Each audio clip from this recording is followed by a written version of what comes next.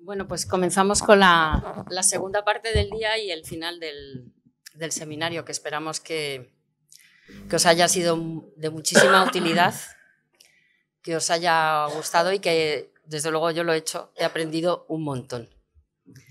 Em, os comentaba el otro día que una de las exposiciones en las que habíamos colaborado y que se, inauguraba, que se inauguró el lunes fue la exposición de Piranesi.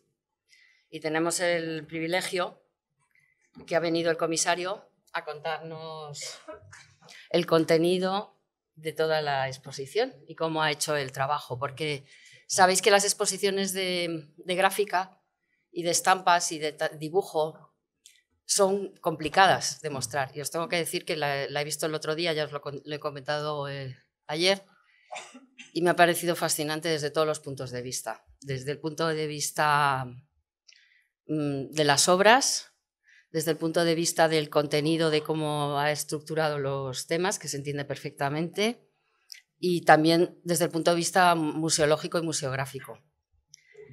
Em, antes de. Voy a, pasar. La, la trayectoria profesional de Delfín es tan extensa y la tenéis en copia vosotros en, los folletos que os hemos dado. Por lo tanto, lo único que quiero reseñar es que es catedrático en Historia del Arte de la Universidad Complutense de Madrid desde 1994, que ha formado parte de, del Real Patronato del Museo Nacional del Centro de Reina Sofía, de la Junta Directiva del Círculo de Bellas Artes, de la Fundación Miguel Fisac y, fue asesor de arte y conservación del patrimonio de la Fundación Argentaria entre 1993 y 98. También ha sido crítico de arte en el suplemento cultural de ABC. Dirige desde 2013 el grupo de investigación Figuración, Representación e Imágenes de la Arquitectura del siglo XVI al XIX. Y buena parte de su investigación y de sus estudios los ha centrado en la teoría e historia de la arquitectura en la historia del dibujo y la representación gráfica y pictórica de la arquitectura y del arte contemporáneo. Pues te dejamos del fin porque vamos justos de, tiempo. que nos cuentes la magnífica exposición. Muchísimas gracias, Ana, por tu cariñosa presentación. Bueno, buenos días a todos. Eh, lamento no haber podido asistir estos dos días eh, previos, pero las obligaciones de la inauguración de la exposición, ruedas de prensa, etcétera, etcétera, me han impedido eh, escuchar las ponencias que seguro que han sido, como recordaba Ana, ciertamente interesantes y apasionantes en función también de los títulos que he visto en el programa que me, envió, me enviaron Ana y, Margarita. Eh, no es la primera exposición que, que hago, con lo cual algo de experiencia en, aciertos y fracasos tengo, con lo cual, esta, eh, como decía Ana, yo creo que es una exposición que eh, era enormemente compleja por muchos motivos, eh, que tienen que ver con la propia historia de la colección de la Biblioteca Nacional, que tienen que ver con la difusión y conocimiento de esa colección, que tienen que ver con la forma de exponer a Piranesi, que siempre seduce, siempre atrae, etcétera, pero cuya vida, eh, trayectorias, actividades, etcétera, es de una complejidad verdaderamente eh, diabólica, ¿no? verdaderamente fascinante, por otro, por otro lado. Eh, el motivo de la, de la, de la exposición es que el año próximo son estas excusas un poco, si se quiere, banales, pero eh, se cumple el centenario, el tercer centenario del nacimiento de, de Piranesi en 1720 eh, en Venecia, en Mauliano di Mestre, eh, en ese año. ¿no? Y esta excusa nos permitió trazar esta posibilidad de realizar esta exposición en la Biblioteca Nacional por varios motivos. En primer lugar, anticipándonos al 19, hemos puesto un pie en el debate internacional porque eh, por una cuestión, eh, digamos que de principio. En 1936, don Enrique Lafuente Ferrari publicó el primer catálogo inventario extraordinario, meritorio eh, hasta extremos realmente insólitos, del Fondo Piranesi en la Biblioteca Nacional. Intentando rastrear los orígenes, la procedencia de los libros, las estampas sueltas, etcétera, etcétera. Y realizó un trabajo verdaderamente modélico que no tuvo ninguna repercusión internacional. En el 78, con motivo del segundo centenario de la muerte de, Piranesi, eh, la Biblioteca Nacional volvió a organizar una eh, exposición con algunas estampas de, Piranesi de la, esta riquísima colección, pero lo que se hizo fue volver a reimprimir, a reeditar el libro de la Fuente Ferrari, con lo cual no entramos en, un nuevo estudio, análisis, restauración, conservación, estado de la colección de la Biblioteca Nacional. De tal forma que si a partir de los años 30 y después a partir del centenario del 78 los estudios sobre la obra de Piranesi, las colecciones, los estados distintos de cada una de sus colecciones, de las Carceri, de las, de las Vedute di Roma, de, de tantas y tantas obras, eh, todos los estudiosos británicos, alemanes, eh, austríacos, italianos, franceses, etcétera, jamás tuvieron en consideración la riquísima colección de la Biblioteca Nacional. Estábamos, como siempre, en la periferia. Nunca la han citado, nunca. Una de las eh, obligaciones de la Biblioteca Nacional de justicia intelectual, pública y de servicio público y cultural es dar a conocer sus fondos. Y eh, hace más de 30 años yo comencé a plantear esta posibilidad de esta exposición con Elena Santiago en la Biblioteca Nacional. Han pasado 30 años, con lo cual la espera ha sido paciente, pero al final hemos logrado realizar el, el proyecto. Eh, en este proceso de, investigación, que ha sido un trabajo colectivo verdaderamente eh, importantísimo, eh, han aparecido cientos de estampas más, se han descubierto encuadernaciones de lujo verdaderamente extraordinarios, regalos diplomáticos de papas, de príncipes italianos, romanos, etcétera, etcétera, a la Biblioteca Real, es decir, a Felipe V, Isabel de Farnesio, Carlos III, Carlos IV, etcétera y con, una segunda incorporación ya convertida la Biblioteca Real en Biblioteca Nacional a partir de 1836, eh, ya convertida en Biblioteca Nacional con una incorporación muy importante procedente del legado, compra, etcétera, de Valentín de Cardelera, que había adquirido en, Italia y también en, Francia y en España colecciones muy importantes de, de Piranesi. Pero que responden, no tienen un, eh, ¿cómo? No tienen un carácter histórico tan significativo y tan importante como el valor histórico que tiene el fondo originario procedente de la, Biblioteca Real. Porque ese fondo fue estampado en tiempos de Piranesi. Y esta es una cuestión importantísima, como todos eh, sabéis eh, sobradamente. Eh, buena parte de esas colecciones, como decía, proceden de regalos, de donaciones, de compras expresas de embajadores en, en Roma, de Florida Blanca, de Alfonso Clemente de Arostegui, de José Nicolás de Azara, etcétera, que enviaban a la Biblioteca Real. El propio rey Carlos III compraba directamente obras y encargaba obras de Piranesi a, Roma y al propio Piranesi. También la presencia de algunos artistas importantes, bibliófilos apasionados como Felipe de Castro o Ventura Rodríguez, que nunca estuvo en Roma, pero tenía una colección de Piranesi verdaderamente eh, pasmosa, eh, por su amistad precisamente con Felipe de Castro, que sí que fue académico de mérito de la Academia de San Lucas, la propia presencia de Goya en un momento determinado, que sí tenía Piranesi, se ha hablado de que pudo conocer, aprender algo de la técnica de algo fuerte con él, pero es algo que no, está constatado eh, documentalmente. Y así otros arquitectos, Silvestre Pérez, Juan de Villanueva, etcétera, que aportaron a la Academia de San Fernando de Madrid eh, también otra serie de ejemplares que se conservan en la Academia de Madrid. Pero lo que eh, el objetivo de la exposición era dar a conocer el fondo de la Biblioteca Nacional de España. Como el título de la obra de la Fuente eh, Ferrari eh, era Piranesi en la Biblioteca Nacional, en homenaje a don Enrique La Fuente Ferrari, a los bibliotecarios de la Biblioteca Nacional y a la institución, hemos mantenido en esta exposición el mismo título, en homenaje a don Enrique, porque él solo se enfrentó a esto, que es una tarea verdaderamente de titanes. Eh, nosotros, para hacer este esfuerzo, eh, no hemos estado solos, he estado con Elena Pérez Gallardo como comisaria de la exposición y con la ayuda pues, de decenas y decenas de personas, instituciones, eh, los servicios de Bellas Artes de la Biblioteca Nacional han sido absolutamente básicos y fundamentales, así como el servicio de restauración.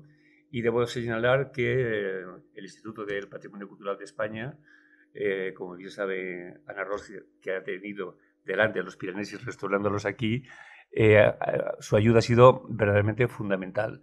No solamente en esa faceta de la, eh, digamos que intervención, restauración y tratamiento de algunas encuadernaciones, estampas, libros de una belleza verdaderamente extraordinaria, de una significación histórica eh, enormemente importante, sino que además a través de la Dirección General de Bellas Artes, del propio Instituto de Patrimonio y del Ministerio de Cultura, la ayuda financiera, económica al proyecto ha sido decisiva.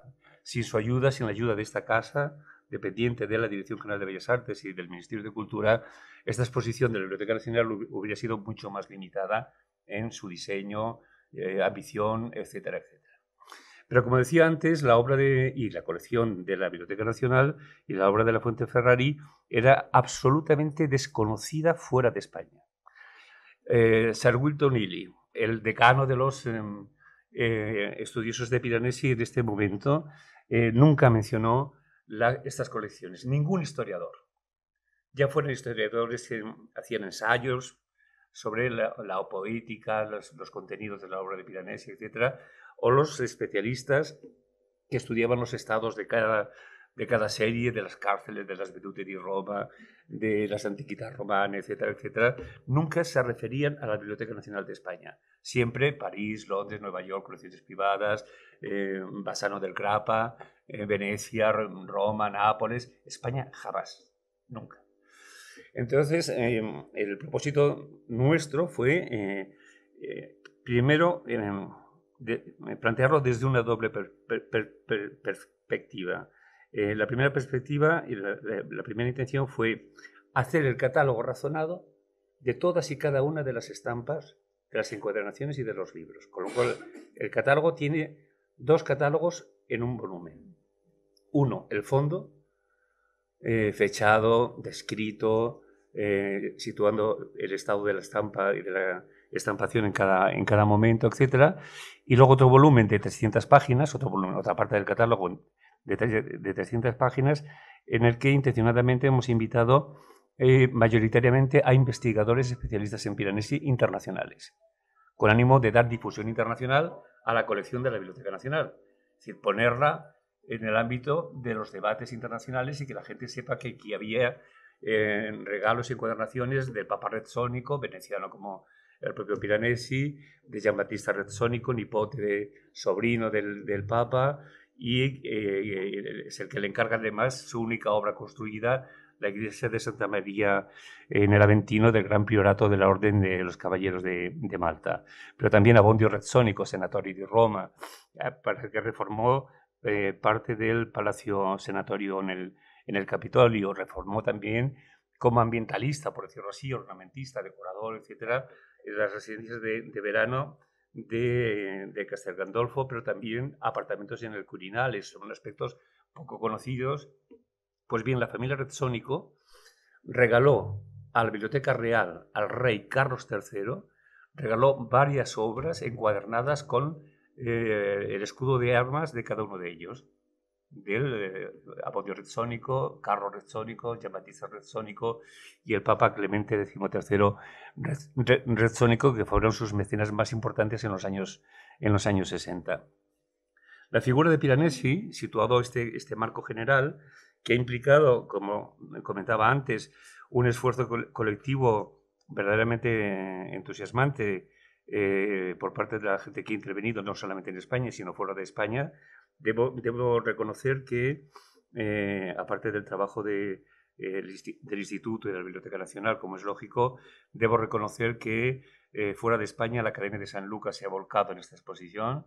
Debo reconocer que la Orden de los Caballeros de Malta hemos tenido el privilegio de poder fotografiar la capilla y la villa magistral en el Aventino, uno de los lugares más bellos de Roma, sin duda alguna, antes, durante y después de la restauración recién hecha eh, de, la, de la iglesia funeraria de, los, de la Orden de los Caballeros de, de la Orden de los Caballeros de Malta, pero también la Biblioteca Vaticana que nos ha permitido trastear en los fondos de la colección de Piranesi que tiene, que es verdaderamente colosal.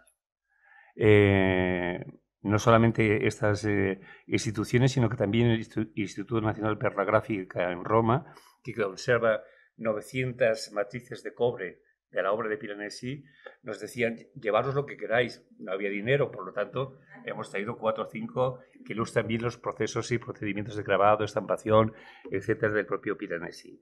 Es decir, que fuera de, España se ha despertado una expectativa que yo a veces he creído mayor que la que hemos despertado en España, ¿no? Porque la gente estaba verdaderamente expectante y eh, diciendo, ¿qué hay en España de Piranesi? Porque lo desconocían absolutamente todo. Eh, debo decir también que la presentación, primera presentación que se ha hecho de esta exposición, tuve el privilegio de hacerla en la Academia de San Luca de Roma, el que fue académico de mérito de la Academia de San Luca de Roma hace un mes y medio aproximadamente, para que os fijéis eh, en la repercusión y el interés que la cultura internacional académica y no eh, tiene en la obra de Piranesi y en esta exposición y en los fondos de la, de la Biblioteca Nacional de España. Este sería más o menos, digamos que el contexto eh, institucional eh, eh, que ha rodeado este gran proyecto en el que han intervenido 20 historiadores o 21 historiadores, especialistas, ayuda de amigos, de colegas extranjeros para dudas, para perseguir, hacer el mejor catálogo posible. Siempre habrá errores, pero por lo menos dejar una especie como de sillar sólido a partir del cual la gente joven, los super especialistas en determinados temas parciales de la obra de, la estampa, del, papel, de las encuadernaciones, etcétera, puedan seguir trabajando en una colección que es verdaderamente una de las más importantes de, Europa y de los Estados Unidos y de la cultura, de la cultura occidental. ¿no? Este sería el, marco institucional de la, de la exposición. Y luego venía el problema de, como comentaban en la presentación, cómo exponer esto, cómo construir el relato de un personaje que brevemente voy a describir la complejidad intelectual, artística, eh, apasionada de, su obra y de sus eh, realizaciones eh, a lo largo de esos 58 años de vida, que uno piensa lo que hizo, lo que escribió, lo que proyectó, lo que dibujó, lo que estampó, lo que comerció, eh, etcétera, etcétera. Y eh, decía uno de sus biógrafos, Legrand, amigo de sus hijos, etcétera, preparando su biografía, que luego quedó manuscrita, decía que el carácter obsesivo de, Piranesi como gran artista, como debe ser eh, todo gran artista, le hacía hacer cocinar los domingos un enorme, una enorme casi cazuela gigantesca de, de para luego no tener que cocinar durante toda la semana, para poder ir de las excavaciones clandestinas a las bibliotecas, de las bibliotecas a las reuniones con los intelectuales, con los eh, nobles, con los mecenas, con los eh, eruditos, con arquitectos, topógrafos, anticuarios, coleccionistas, viajeros de Grand Tour, es decir, una vida verdaderamente enloquecida.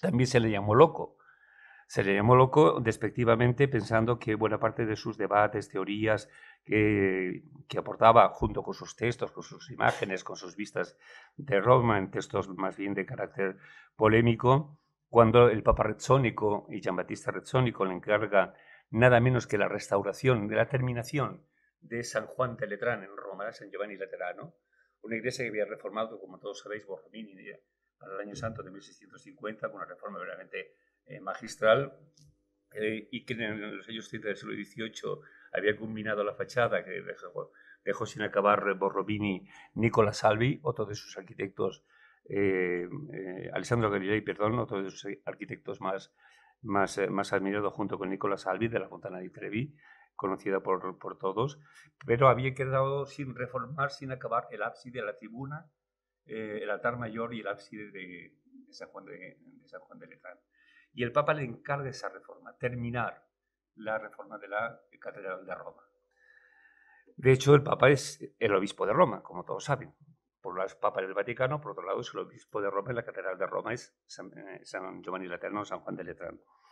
Y eh, esa obra al final no pudo verse realizada por motivos económicos, envidias eh, de otros arquitectos profesionales y en ejercicio, alguno de ellos como Luigi Bambitelli, arquitecto del Palacio de Caserta, con Carlos III, le llamó loco, otros, a finales del 18, eh, británicos sobre todo, eh, decían, es loco, mato, sucio, brusco, eh, ignorante, eh, no se le puede dejar en sus manos un proyecto de arquitectura porque sería una verdadera locura, porque además procede de las mismas cloacas que, que Borromini. De haberse enterado Piranesi que se decía eso de él, se hubiese sentido enormemente orgulloso, porque su referencia era Borromini. Ser como Borromini. Él no se enteró de esas críticas tan verdaderamente duras y crueles, pero configuran un poco su personalidad de carácter fuerte, intenso, eh, capaz de enfrentarse con eh, mecenas importantísimas, con al propio eh, paisano Clemente XIII Redsónico. En, una de las publicaciones más importantes de Magnificense de, de, la arquitectura de Romani, le decía algo así como a usted, Santidad, eh, le resulta muy fácil dar una bendición. A mí más fácil todavía realizar una estampa. Era una forma como eh, casi de provocación a un amigo, porque parte de la familia de los Redsónicos fueron padrinos de sus propios hijos, que decía, la relación era como venecianos en Roma, eh, romanizados, era verdaderamente interesante. Para no alargarme demasiado y pasar a explicar cómo se ha construido el relato para contar esta obra tan compleja, tan prolija, que reúne tantos aspectos. No fue un vedutista más de imágenes de la ciudad em, de Roma antigua y moderna, como podrían serlo el Canaletto, Panini, Bellotto y tantos vedutistas, eh, eh, autores de, arquitecturas pintadas y vistas de la ciudad pintada, sino de otros grabadores como Giuseppe Bassi, su primer maestro en Roma, recién llegado de Venecia en 1740, que hacía un tipo de vista topográfica eh, enormemente fría. Para ambientarla había escenas cotidianas, de la vida cotidiana, etc., pero eran verdaderamente gélidas. Estas imágenes de la magnificencia de Roma antigua y moderna. ¿Qué hizo Piranesi? Transformar la imagen de Roma. Eh, filmar el acta notarial de la grandeza de Roma, de una grandeza que eh, melancólicamente no habría de volver. Pero que por otra parte implicaba, eh, ¿cómo decirlo?, implicaba un sentido de la responsabilidad sobre la conservación del patrimonio verdaderamente revolucionario y nuevo en ese momento. Él pretendía fijar, para que no pasara al olvido, aquello que no iba a volver, mediante las vistas de Roma. ¿Qué hacía? Eh, modificar los encuadres, vistas en abuelo de pájaro, eh, picados, contrapicados, vistas angulares, etcétera, que hacían dramatizar la arquitectura, sacarla de escala, monumentalizarla. Eh, de tal forma que los viajeros del Grand Tour, que al hacer el viaje solían llevarse recuerdos de las ciudades por las que pasaban, en forma de arquitecturas pintadas, cuando veían las obras de Piranesi, no tenían nada que ver con lo que había conocido desde Venecia, Florencia, Roma, a través de esos pintores de vistas de arquitectura.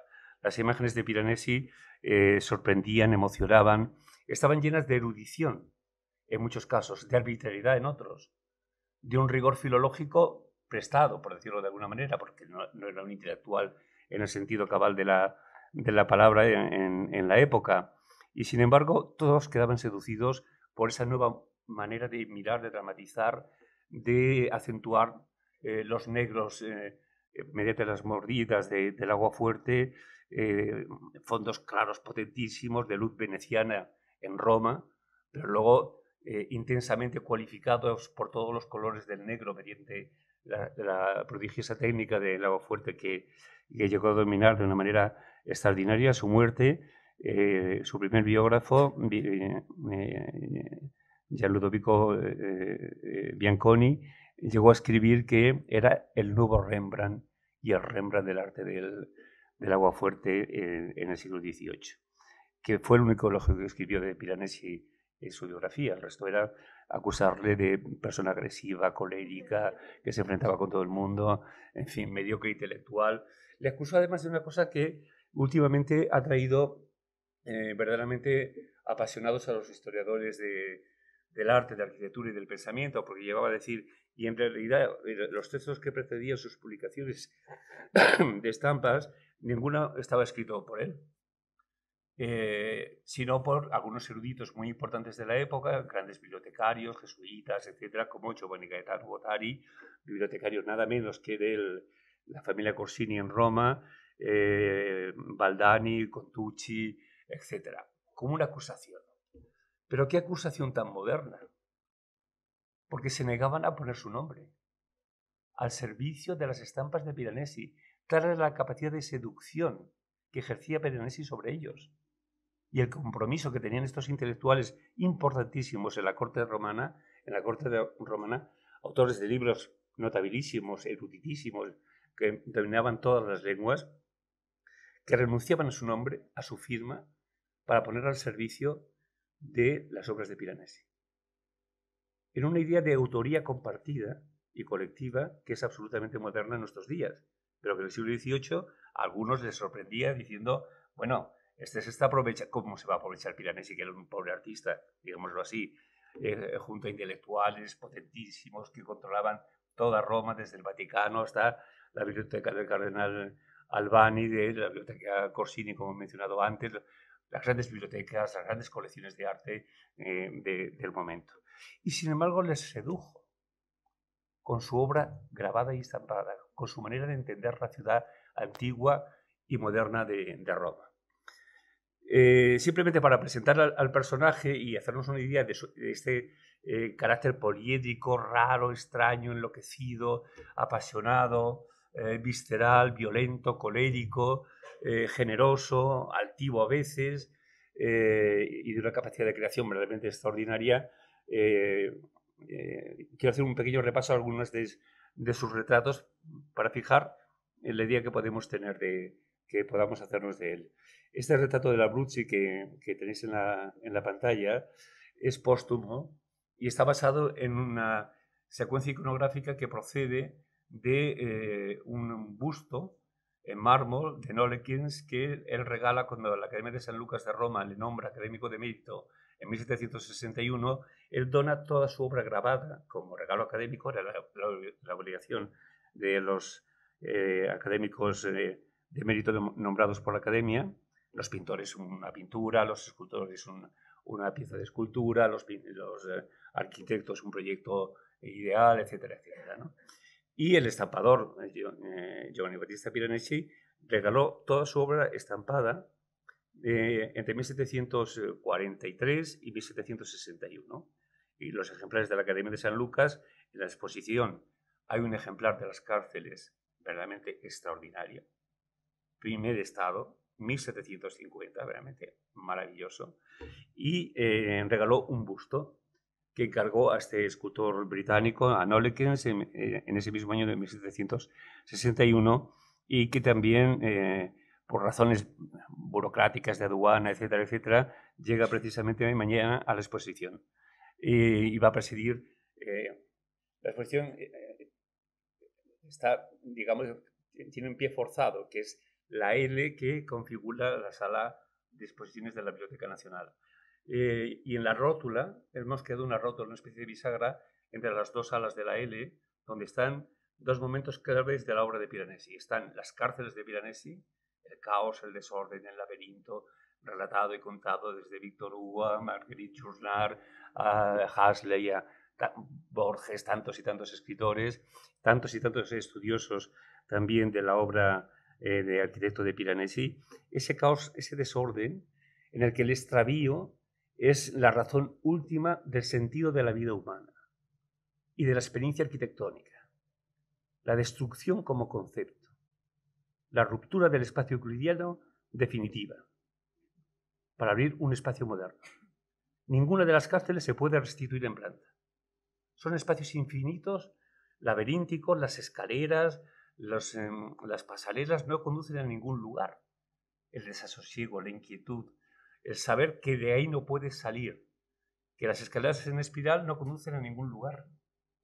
Nada conduce a una salida. Como si la vida humana no tuviese expectativas de esperanza.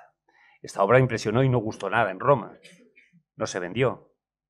En 1750 no se vendió. Se vendían las vistas de Roma, eso sí para los grandes turistas, de los viajeros del Gran Tour, pero las cárceles no.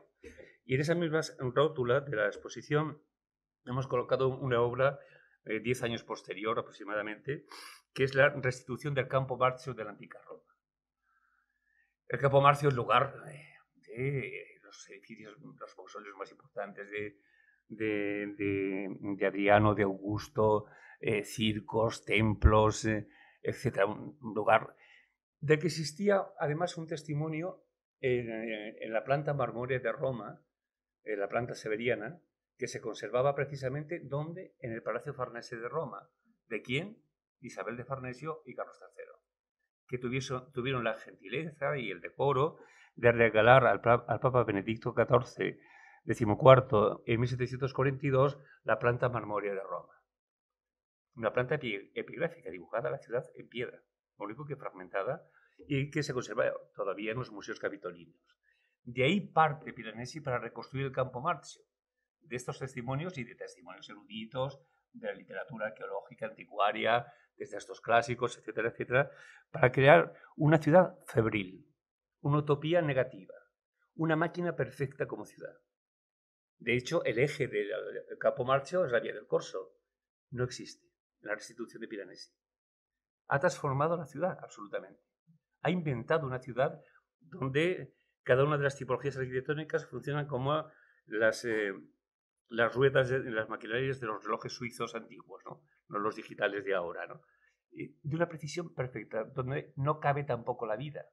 No hay espacios naturales, quitando eh, la secuencia del, del Tíber, no hay espacios naturales, no hay lugar de habitación.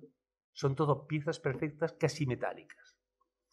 Eh, esta ciudad, que es, eh, digamos que el, el otro lado de la destrucción, del caos y del desorden, convertido en la precisión erudita del orden o del desorden, pero convertido en una máquina perfecta, como una metrópoli contemporánea, como una utopía negativa. De hecho, esa restitución del campo marcho, en ese lugar, esa rótula central a la que me estoy refiriendo, eh, son las dos caras de la vida de Piranesi, de su concepción intelectual como arquitecto, proyectista, que no proyectó prácticamente nada, que no pudo construir prácticamente nada, quitando la iglesia del Aventino y la plaza eh, eh, antistante previa a la entrada a la villa magistral del Gran Priorato de la Orden de los Caballeros de Malta en el, en el, en el Aventino. Como digo, eh, los arquitectos contemporáneos, desde las vanguardias hasta Peter Einsmann, todavía en la Bienal de Arquitectura de Venecia del 2012, pudimos contemplar un proyecto de ciudad utópica e ideal de Peter Eisenman que partía de la restitución del campo marcho del Piranesi. Impresionante el desarrollo, pero también Richard Meyer, también Agata Isozaki, todos los arquitectos eh, contemporáneos se han alimentado de, de, la obra de Piranesi. No solamente ellos, su importancia de las cárceles también, de muchos de los encuadres de las Vedute di Roma, etc., en, en, la fotografía de las vanguardias, eh, tanto en la nueva objetividad, en la Bauhaus, en el constructivismo soviético, en el cine de Einstein, etc., es, eh, es, eh, está absolutamente presente. Einstein era un apasionado de Piranesi. Tenía toda su obra. Y solía dibujar encuadres de las estampas de Piranesi para luego realizar encuadres fotográficos y fotogramas de la calzada Potenkin, de octubre, etcétera, etcétera. Fíjense o fijaros la importancia y las consecuencias en el mundo de la vanguardia, en el mundo contemporáneo. Eh, Rafael Moneo lo ha citado muchísimas veces desde el Museo de Mérida, otro apasionado de, de, Piranesi. Y así tantos y tantos arquitectos europeos, japoneses, rusos, eh, soviéticos en su momento, y luego eh, la influencia en el romanticismo. Porque a partir de, de la huida, por decirlo de alguna forma, de sus hijos Francesco y Pietro a París, después de la experiencia de la República Jacobina en Roma a finales del siglo XVIII, con la presencia de los franceses en, en Roma, ellos huyen con las tropas francesas y eh, se llevan toda la calcografía piranesia a París, las mil, las mil matrices de cobre y toda la colección piranesi, de dibujos también y comienzan a partir de 1800 a estampar la obra en París. dándole una difusión distinta. Y esto es, es muy importante de cara a la calidad de lo que hemos estudiado en el, en el inventario.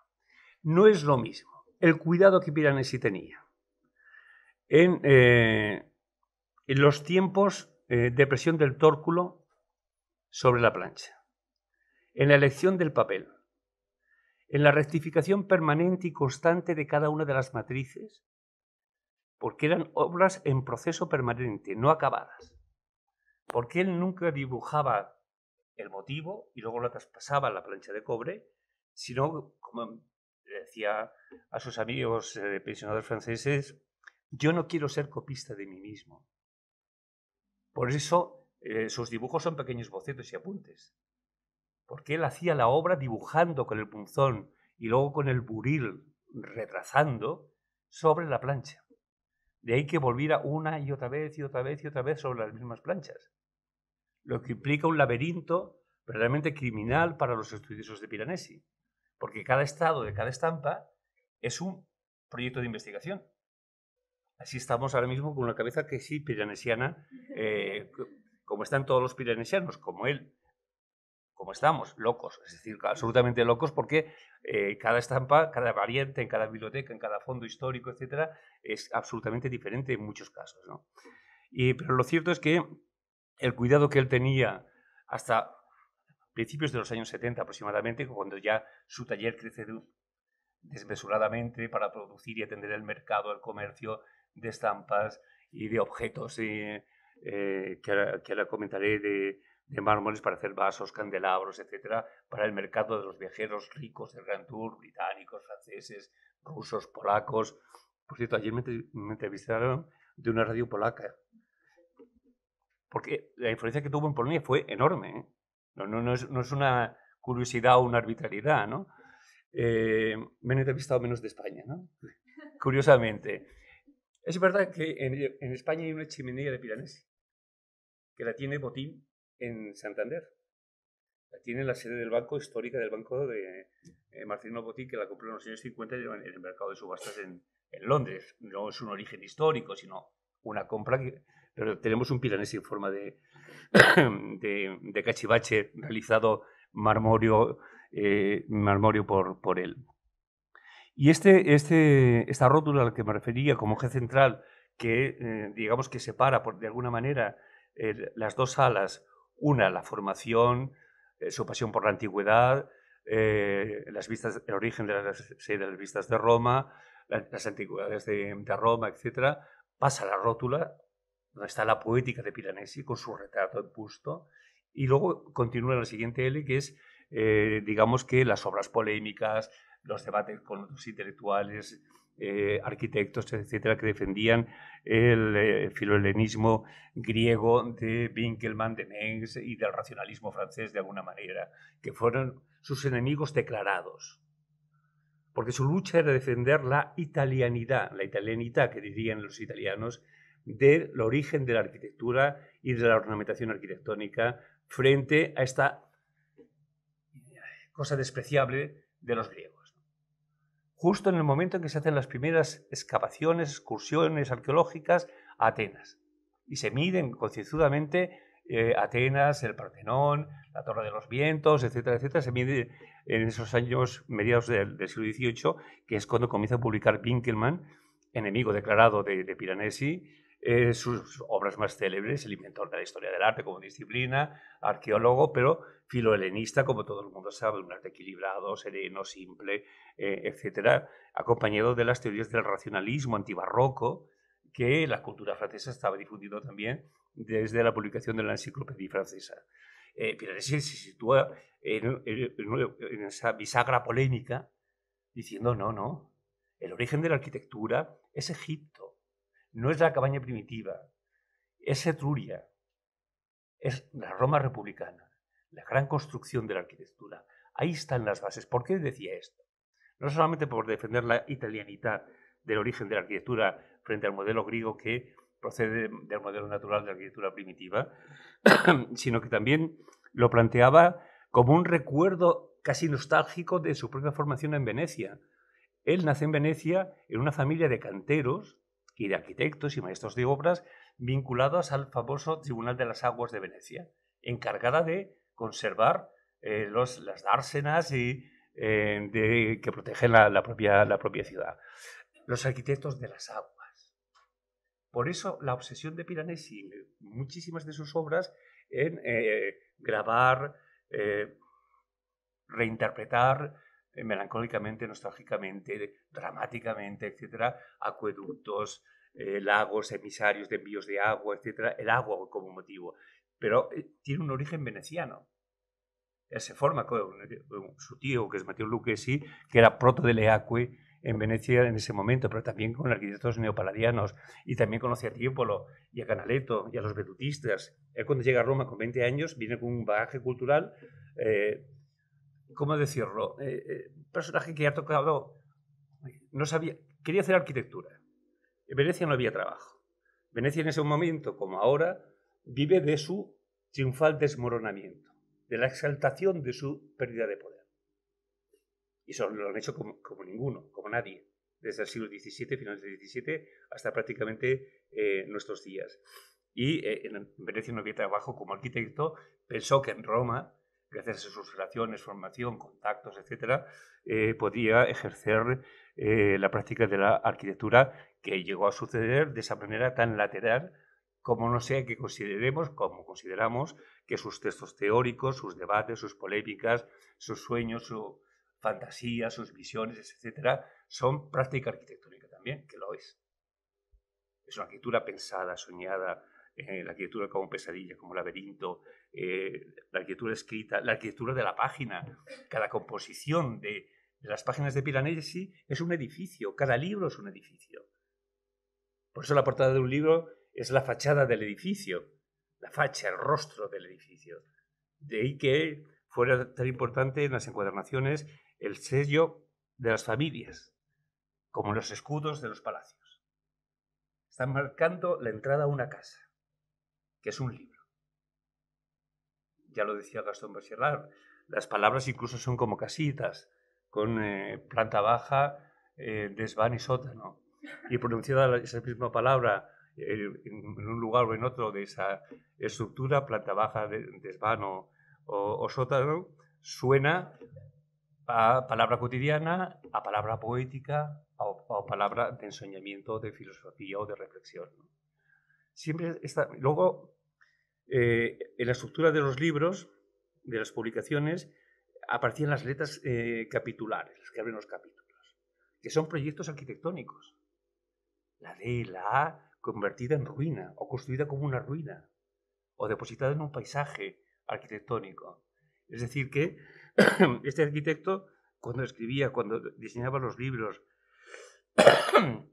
perdón, cuando organizaba la, publicación, cuando diseñaba una estampa, la estampa es una composición arquitectónica eh, que tiene estampas sobre estampas, como cuadros dentro del cuadro, para seguir como glosando, poniendo notas a, lo que, a la imagen principal del edificio en una sola estampa. Hay siete estampas, hay siete proyectos.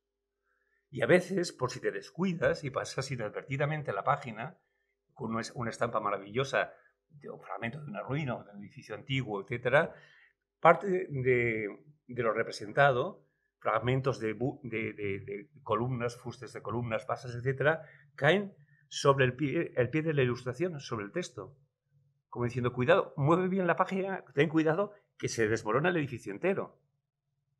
Y además eh, te, invita polémicamente a intervenir en la lectura del texto. Y te quejas de él, porque está tapando la lectura de lo que es, lo que está diciendo, eh, lo, que, lo que dice eh, ese texto de lo que está representado arriba. Es decir, con una, un personaje realmente fascinante. a su muerte, en el 78, como decía, este retrato, que es uno de los más conocidos pintados de Piranesi, que se conserva en el Museo de Roma eh, en este momento, eh, lo realiza después de haber hecho su último viaje a, a orden dórico griego sin basa, como decían Mengs y tantos eruditos franceses, etcétera, que odiaba profundamente.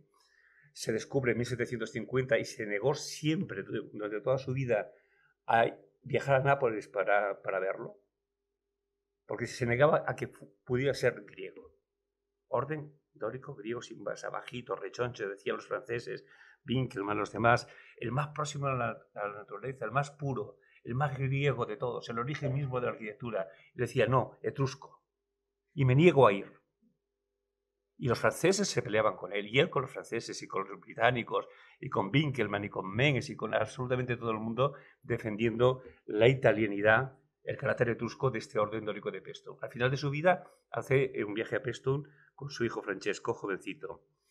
Y eh, muere unos pocos meses después.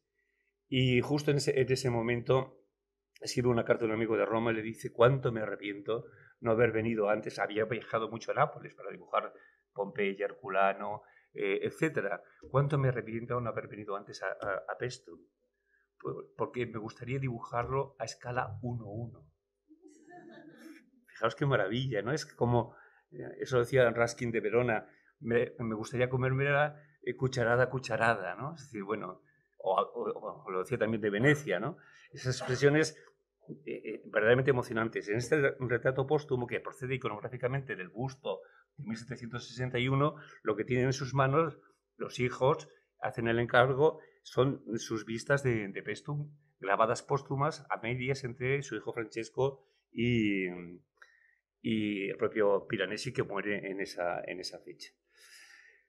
Eh, ya no nos sorprende con lo que acabo de decir, espero esta doble imagen que tenemos en la pantalla. El primer retrato de Piranesi conocido, grabado para Le Opere Varie, eh, Opere Varie de 1750 y después para, la Le Antiquità Romane por su amigo Polanzani, también de origen veneciano. Grabador ciertamente notable. Fijémonos en él. Mitad escultura antigua y en ruinas, mitad eh, retrato fidedigno vivo de una persona eh, real. Con esa especie de ambigüedad, ese rostro de, de Jano doble, donde la mirada es incluso melancólica, tiene un punto de agresividad, pero es recuerdo y futuro, pasado y proyecto, que es lo que va a mantener durante toda su vida y en todas sus obras. Y abajo, una cornisa que pone Piranesi, arquitecto veneciano. Su sueño. No había hecho nada todavía. Cortar piedra en Venecia. Con su padre y con su familia. Y, soñar. Soñar edificios. En 1743, recién llegado a Roma eh, y buscando trabajo entre topógrafos, arquitectos, mecenas, etc., conoce un constructor llamado Nicola Giove, que, al que le dedica la prima parte de arquitectura eh, y eh, Prospective de 1743, que es la obra germinal de Piranesi. Ahí está in nuce todo Piranesi. Eh, y escribía, los arquitectos de nuestro tiempo no tenemos la oportunidad ya de construir, ya no se construye como en la antigua Roma, en la Roma del Renacimiento de los papas del Barroco. Pero tenemos un poder, soñar e imaginar nuestros proyectos de arquitectura, dibujándolos. Por eso estamos obligados, como diceva el grande Yubara, maestro de todos ellos, eh, arrebatar a los pintores y a los escultores el arte de la perspectiva, para visualizar estos sueños, no, para representarlos solamente en proyección ortogonal, planta, alzado y sección. Es, es un retrato magnífico que es además un manifiesto de sus propias convicciones. Cuando se aproxima la muerte, ya lo hemos visto después de muerto, en ese retrato un poco convencional, académico, con la planta de Pestum, etcétera, etcétera. Él, en 1770, eh, muere en el 78, como ha recordado, eh, elabora eh, esta otra faceta de su actividad, que también está representada simbólicamente en, en, este, en esta rotonda de la exposición. Junto con las cárceles y el campo marcio, hay un libro poco conocido, que es eh, que edita en 1765 eh, sobre los dibujos del Guerchino que conservaba un escultor amigo suyo, Bartolomeo Cavachepi. Es una obra pequeñita, con unos 15 o 16 eh, dibujos grabados del, del y en la, en, la, en la portada aparece en el centro una paleta de pintor. Y en el borde de la paleta de pintor escribe Piranesi, coles porcares y trova al ensuciarse encuentra. sucio de las cloacas de Borromini, lo estaba diciendo de sí mismo. Era el lema. El mezclar lo híbrido, el collage, el ensamblaje. Y comienza a producir objetos, no solamente ya libros, estampas, etcétera, etcétera, sino fruto de su eh, obsesión por las excavaciones, las ruinas, eh, eh, el robo, cierto, en las excavaciones de propiedades privadas, que eran clandestinas por otra parte, él decía, he conseguido esto con evidente perículo de la mi vida. Pero fíjense una cosa, en el Palazzo Tomati, cuando ya se instala, porque primero se instala mm, en, los bajos del Palazzo Venezia en Roma, al llegar. Pero a partir del año 47-48, cuando ya vuelve definitivamente de Venecia y se instala en Roma, se instala en una especie como de botega, de, taller pequeñito, etcétera, frente a la Academia de Francia en Roma, en el Corso. Que hoy es Palazzo Mancini, hoy edificio vacío. No la Academia de, de Villa Medici, sino en el Corso. Y ahí instala su taller, comercia con sus estampas, etcétera, eh, a la vez que con otros eh, libreros eh, franceses e italianos que difunden su obra, la venden en, Roma en ese momento.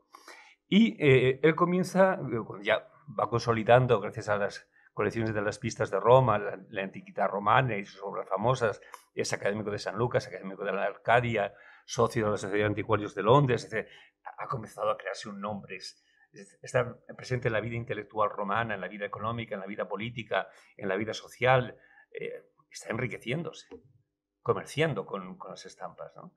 Y eh, alquila una parte importante del Palazzo Tomati arriba de la escalera de España a la derecha frente a la iglesia de la Trinidad de Monti.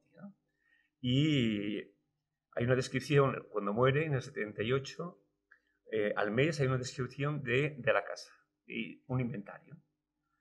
Eh, era un laberinto propio de ese Coles y Trova escultura, fragmentos de eh, romanos mm, eh, del Renacimiento, fragmentos nuevos, vaciados en escayola de toda la columna trajana, distribuida por toda la escalera de la casa. Las salas de, la estampería, de los tórculos, cámaras oscuras, importantísimo, interesantísimo. vistas, coleccionaron resmas de papel, de encuadernaciones, obras terminadas, etcétera, etcétera.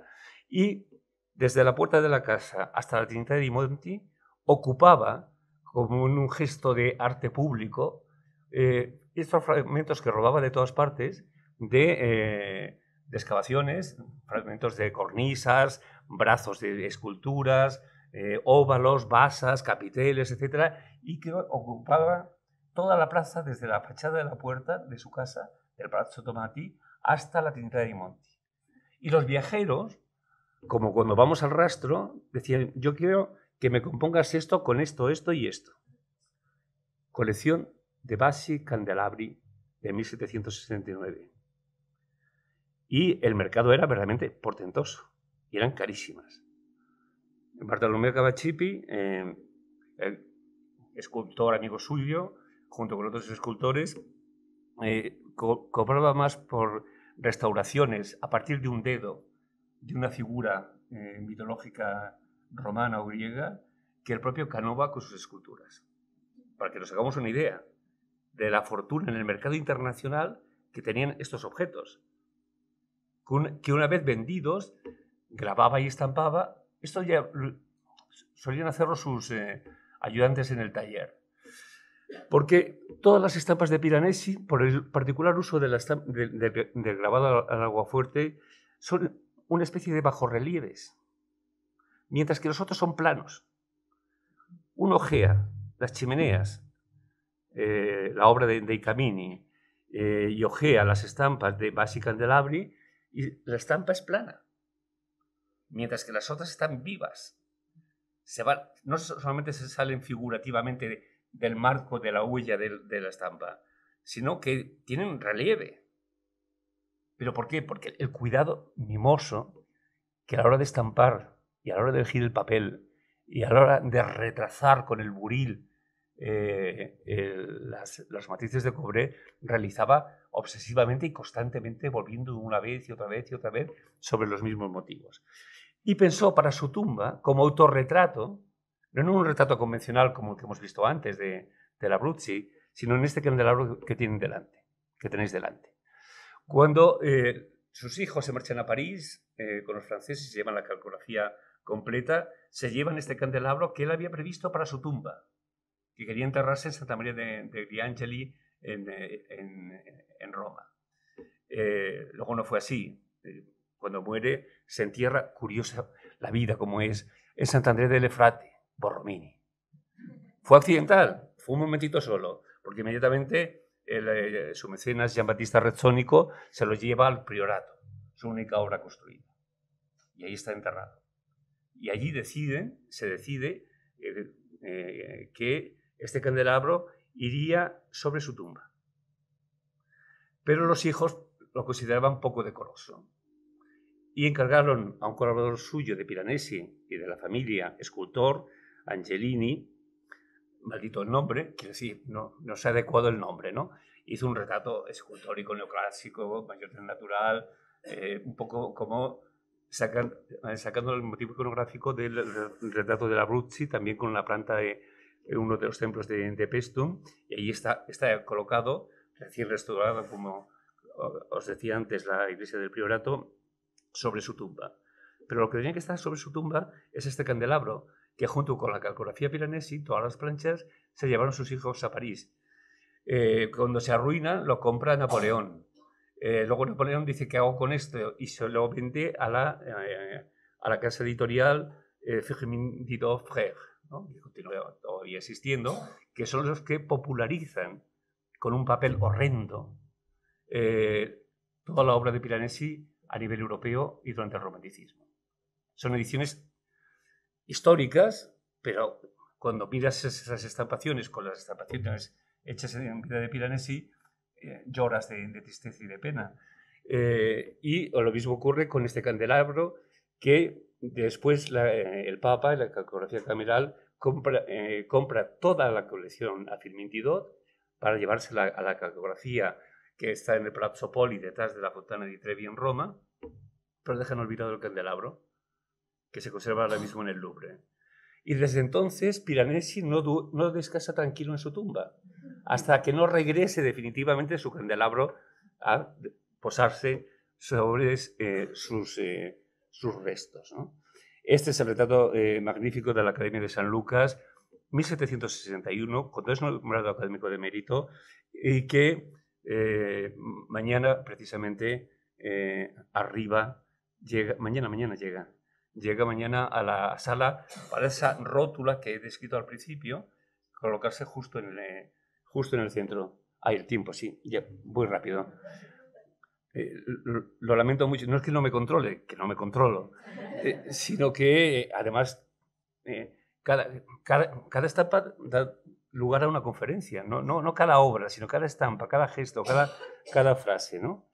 esta es la portada que os comentaba antes a propósito del libro de, de, grabados de, dibujos del Gurchino y, y, aquí se puede observar, si encuentro la, la flecha, aquí escrito coles porcares y trova. Es más, aquí un, un autorretrato. La cabeza degollada del Bautista, San Juan Bautista, su patrón.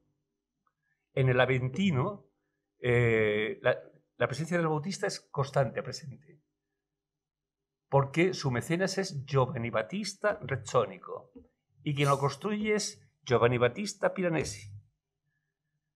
Y San Juan Bautista es personaje casi con un sentido hermético en la tradición hospitalaria y de los guardianes de los santos sepulcros y lugares santos de Jerusalén. De ahí que la presencia de San Juan Bautista en, el, en la Aventina, el Aventino sea tan verdaderamente importante al lado de la iconografía de la familia Rezzonico y de la Orden de los Caballeros de Malta con miles de temas y argumentos de carácter, de carácter naval. Eh, ¿Cómo no recordar en estas imágenes trágicas, melancólicas, etcétera, eh, esta posibilidad? Goya conoció Piranesi y conoció las cárceles de Piranesi. Pero a mí siempre me ha interesado esta, esta estampa de los caprichos por un motivo, porque la, la, conocemos así, el sueño de la razón produce monstruos. uno podía pensar inmediatamente el, carácter híbrido, sucio, etcétera, etcétera, laberíntico, angustioso de las cárceles eh, del propio Piranesi.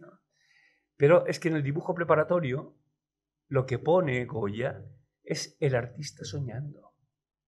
No el sueño de la razón produce monstruos, el artista soñando.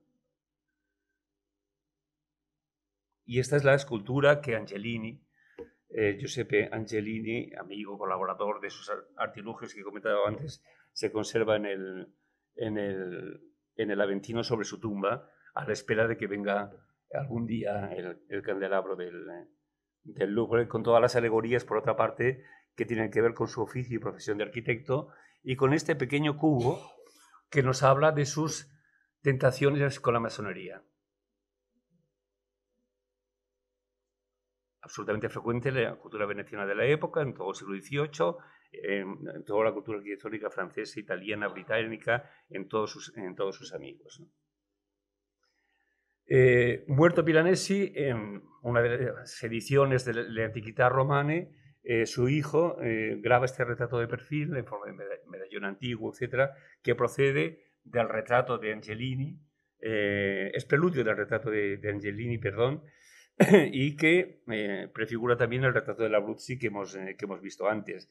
Se conserva este retrato eh, un poco insólito de Angelica Kaufmann, que era muy amiga suya, y que lo convierte más bien en un intelectual. Parece más bien Mengs o Winkelmann que no Piranesi. El dibujo es precioso, ciertamente, con, un libro propio de, atributo de un intelectual, no de un artista, arquitecto, etc. Eh, una forma de manipulación iconográfica realmente eh, también interesante.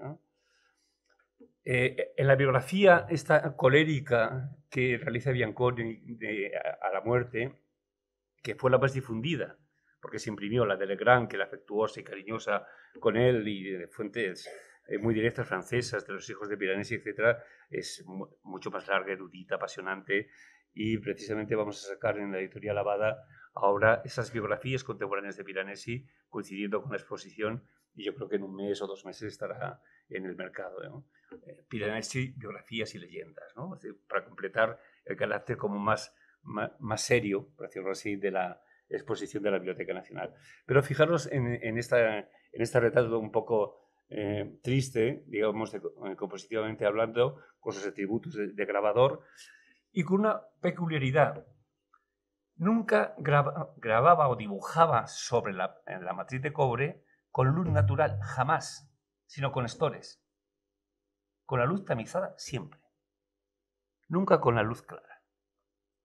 Nosotros tenemos todos una obsesión por esa cultura hospitalaria de los blancos de las casas y de que haya luz sobre el texto, pues a lo mejor no. O sobre el lienzo, pues a lo mejor resulta que no. Y Piranesi no o se iluminaba con velas.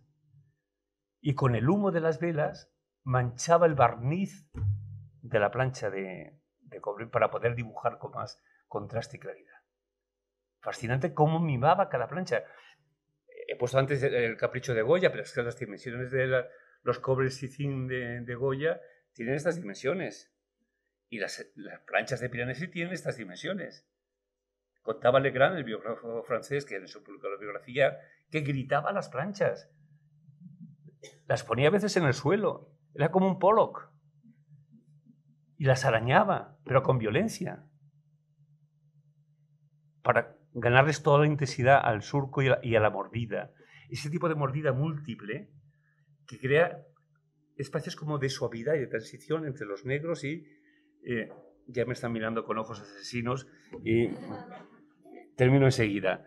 Eh, veneciano, paladiano, borrominiano, como antes he, mencionado, la cultura del capricho arquitectónico, la cultura veneciana fue muy importante en él, la, obra de Marco Ricci, los vetutistas de caprichos. Fijaros qué proximidad existe con sus primeras, eh, Michele Marieschi, que anticipa, es una arquitectura escenográfica, sin duda, un boceto para una decoración teatral, ¿no? como solían ser todos los vedutistas eh, europeos y venecianos en, especial, también decoradores de, escenografías teatrales, y que nos hablan de un lugar veneciano sin duda, pero con esos eh, desniveles y juegos que recuerdan tanto las propias cárceles de Piranesi o el Grande Yubara. La Biblioteca Nacional conserva una colección de dibujos de Yubara verdaderamente extraordinaria, ¿no? Eh, que tuve la oportunidad de estudiar ya en el, en el 2009. Apasionado de Fischer von Erlach en, en Venecia.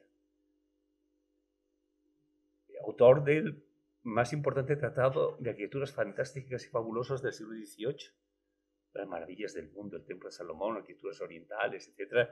Y aquí este pequeño boceto iba como apropiándose de detalles y de elementos para luego componer sus propias, sus propias obras. En una especie como de ars combinatoria de muy distinto origen. Lo hacía con, eh, con las técnicas de grabado y de estampación, lo hacía también con los motivos iconográficos para los proyectos ideales. Llega a Roma y en 1740 entra en el taller de Giuseppe Bassi, napolitano, al servicio de Carlos III, súbdito de Carlos III, y el más importante grabador de vistas de Roma, de vistas topográficas, pero eh, y eh, experto en técnica, la técnica fuerte. Publica 10 volúmenes sobre las magnificencias de Roma antigua y moderna, dedicadas a Isabel de Farnesio, a Carlos III y a toda la familia real porque le habían regalado una crujía para que instalase su estampería en el Palacio Farnese de Roma, la familia real española. Y hay otro vínculo con España que hasta ahora era prácticamente desconocida.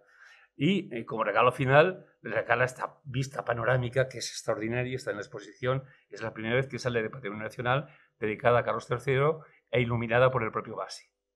Y en el eje de la composición, una exaltación, aquí en la dedicatoria a Carlos III, desde el Gianicolo, el Palazzo Corsini y el Palacio Farnese, que constituyen el eje axial de la ciudad de Roma. No es San Pietro el protagonista, de Roma, ni el Fontanone. Aquí está la San Pietro y Montoli en el otro, compitiendo con San Pedro, con San Pedro del Vaticano. Una pieza está enrollada desde el siglo XVIII hasta ahora, que se ha tensado para la exposición. Y es un acontecimiento tenemos que presumir de, esta pieza porque es realmente maravillosa. ¿eh? Además se enfrenta a los temas topográficos y se aproxima al topógrafo y geómetra más importante del siglo XVIII en toda Europa, y lo sigue siendo, Gian Battista Noli, que realiza la planta grande de Roma. Eh, es un trabajo colectivo, donde participa la curia romana, los más importantes científicos, miles de brigadas que van midiendo las calles, eh, las, fachadas, las viviendas, etcétera, también con un fin catastral. El nivel de precisión sigue siendo insólito, ni con los modelos modernos eh, métodos de relevamiento, como dicen los italianos, de levantamiento de la ciudad. Es impresionante. Columna a columna de los zaguanes y de los patios, las capillas, todos en escala, medidas por centenares durante 10 años de brigadas que iban midiendo cada palacio, cada fragmento, cada puerta, cada plaza, cada lugar, cada, cada patio, cada capilla en una iglesia, etc. Es, ahí ayuda, eh, encuentra su primer trabajo Piranesi, ayudando a esto. Se llena de sueños y le propone, jovencito, a Noli, le propone, ¿por qué no hacemos una planta de Roma antigua? No solamente de Roma moderna. De ahí viene el sueño de la antiquità romane, de ahí viene el sueño del campo marcio, eh, etcétera, etcétera. Y esto es simplemente un detalle para que veáis la precisión. Eh, desgraciadamente la Biblioteca Nacional está, encuadernado. En otros lugares lo tienen como el Teixeira famoso, ¿no? Lo tienen desplegado y marcado, etcétera, pero se conserva mejor de esta manera en la Biblioteca Nacional y procede el ejemplar de la Biblioteca eh, de, Osuna. Pero el nivel, el nivel de precisión y de detalle dan ganas de, de pasearse. Cuando presentamos la exposición en Roma, estábamos con Rafael Moneo y en, el hotel, en el hall del hotel, había una reproducción de la planta del Noli y nos pasamos horas con el dedillo puesto, eh, reconociendo cada, espacio y cada rincón de, la planta del Noli porque estábamos cautivados. La habremos visto veces, pero es verdaderamente eh, apasionante. Y como muy incómoda, para presentar las vedute di Roma, que lo que hacen es ilustrar la planta de Roma del Noli como un proyecto colectivo eh, grabaron una planta apícola que fuera manejable con, las vistas de Roma y donde aquí sí las, eh, estas pequeñas viñetas de San Pietro, de Santa María Mayore, de San... Eh, ¿cómo, se llama? De la Fontana di Trevi aquí. ay, no recuerdo el nombre ahora mismo de, esta iglesia. Son de Piranesi. Lo graban Piranesi, el hijo de, de, el hijo de Noli. Prima parte de arquitectura dedicada a Nicolás Giaui, al que le dice, otra cosa no podemos hacer, como no hay mecenas, no hay dinero, no se puede construir, que eh, dibujar nuestros propios sueños. Esa es la portada, que recuerda esos grabados que hemos visto de, de, Marco Ricci, de origen veneciano, y que él conoció perfectamente. La primera cárcel, que Carcere Oscura, que representa, pero es muy convencional, es una cárcel, digamos que normal.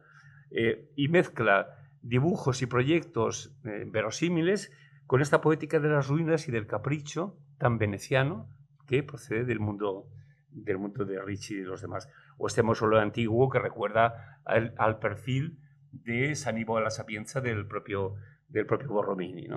O este interior realmente maravilloso que luego va a usar cuando vaya a realizar precisamente el proyecto para San Juan de Letrán, para el ábside de San Juan de Letrán, colocando esa especie de toros abierto eh, para eh, diseñar la tribuna y el altar mayor del ábside de San Giovanni Laterano, o este, este magnífico pórtico, y aquí podemos ver de nuevo un homenaje a Borromini ¿eh? y a las cúpulas de San Ivo, de San Ivo a la Sapienza.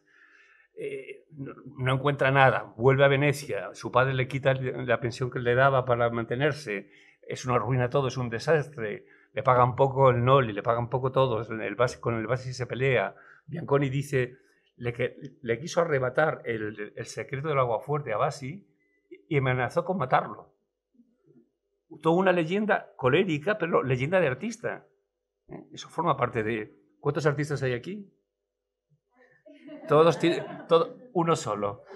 Pues todos tienen vocación según el libro de la leyenda del artista Otto Kurz, que es una belleza, eh, tienen vocación de asesinos, ¿sí? Perdón. que yo también me considero artista de mi manera, ¿no? O todos fueron coléricos o fueron... Eh, eh, y al regresar a Venecia por última vez, y ya listas definitivamente en Roma a partir del 47, conoce los caprichos al agua fuerte de Tiepolo, recién publicados. Y la emoción, conocía a Ricci, conocía las otras cosas de Marieschi, pero conoce esto que es, es verdaderamente espectacular y que anuncia su serie de los caprichos que eh, publica ya en Roma en el año 1748-49. Eh, y fijaros bien, la capacidad obsesiva que, cómo probaba todas las técnicas y procedimientos. Eh, en el reverso de algunas de las planchas, nos vamos ya, de algunas de las planchas de las vistas de Roma, fidedignas, etc., ensayaba y grababa, dibujaba sobre, sobre la estampa. Esa es la caída de Faetón. Y se le quemó, la abrasó, midiendo los tiempos precisamente, las mezclas para crearlos. Eso estaba detrás de esta imagen de las vistas de, de Roma. Aquí eh, es donde estaba su librero Bouchard. La plaza de San Marcelo existe todavía en Roma eh, y vendía las cárceles, las vendía ahí. No vendió nada de las cárceles. ¿eh? las demás sí, pero las cárceles no las vendió. Eso desagradaba. ¿eh? Todavía inquietan. ¿eh? Si uno se pasea por las cárceles. Eh, esta es la, la, tienda de, de, de, Bouchard y Gravier. Las Vedute di Roma. bueno, claro, uno ve estos encuadres con esta intensidad del negro. Con fijaros la, la, la didascalia lo que dice que es esto, eh, colocado como si fuera el fragmento de una ruina, sacado del tiempo, metido en la imagen. No lo coloca debajo de la huella de, la huella del grabado, sino que lo coloca como un fragmento más del pasado y de la, de la antigüedad. O esto que preludia la, la, la arquitectura la arquitectura enterrada de Boulay, la arquitectura revolucionaria francesa. ¿eh?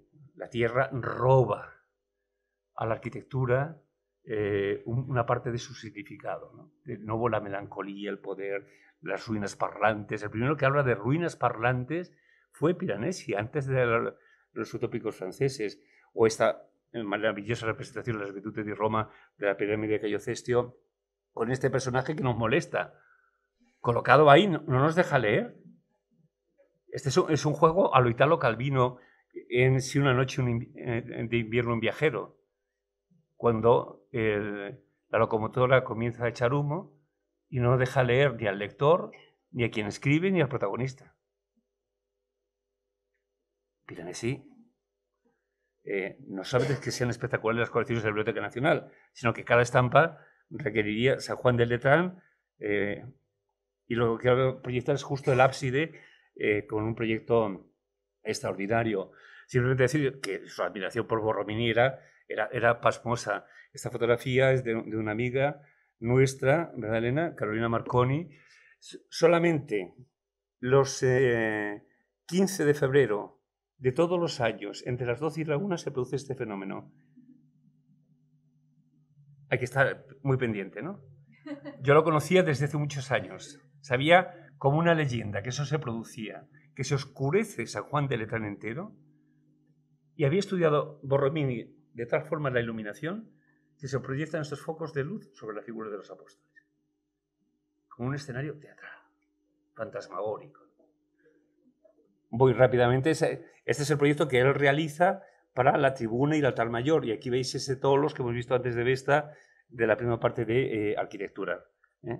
Para que veáis las encuadernaciones de lujo, las vistas de Roma, la, serie de los Charlemont con el, escudo que le traicionó y se defendió de manera polémica.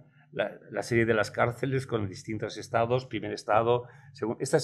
este ejemplar, la cárcel 12, eh, la Biblioteca Nacional posee el dibujo original. Se conservan cinco o seis dibujos nada más de las cárceles. Posee el dibujo original, pero no posee la estampa. O sea que tenemos que conseguir una colecta para comprar la, estampa 12.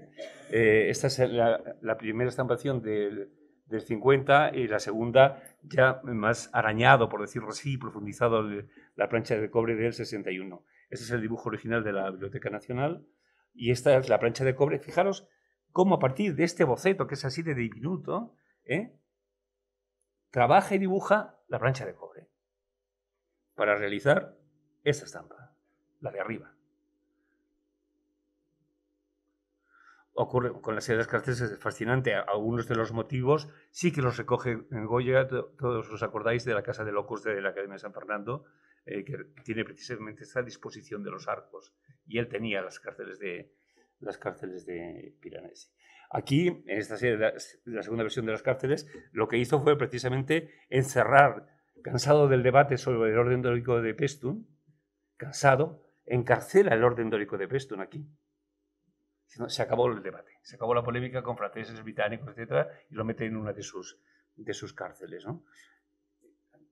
es la consecuencia del último viaje eh, a, a Paestum para estudiar y grabar eh, la restitución, después de las cárceles, la restitución que antes decía yo, metálica, de precisión, de rojería casi, de utopía negativa, de metrópoli contemporánea, de la restitución del campo marcho de la antigua Roma. Ese es el alzado de esa planta, que un fragmento del alzado, y ese es el proyecto de Peter Eisman en la Bienal de Venecia del 12. Hemos traído de la Cartografía Nacional de Roma, además, también la, plancha calcográfica, perdón, la plancha, la matriz de, cobre.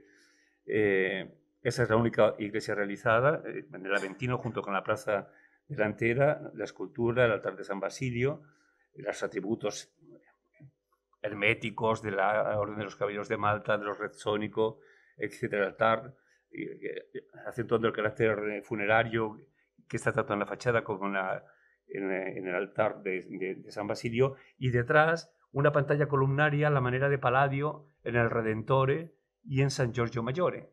Palladio Borromini, de nuevo Palladio Borromini.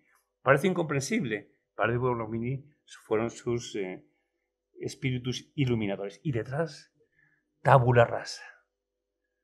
Si con el ensuciar se encuentra, con el silencio, con el vacío más absoluto, se puede comenzar a hablar.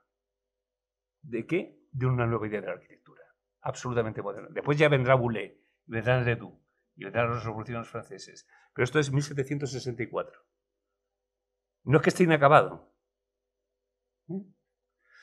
Simplemente ya para, para terminar, ya pido disculpas por anticipado, luego me disculpo otra vez al terminar, pero para ver eh, con un mínimo de precisión cómo trabajaba como se encuentran en este momento las matrices de cobre en la cartografía de Roma, que están realizando un trabajo de investigación y catalogación verdaderamente colosal.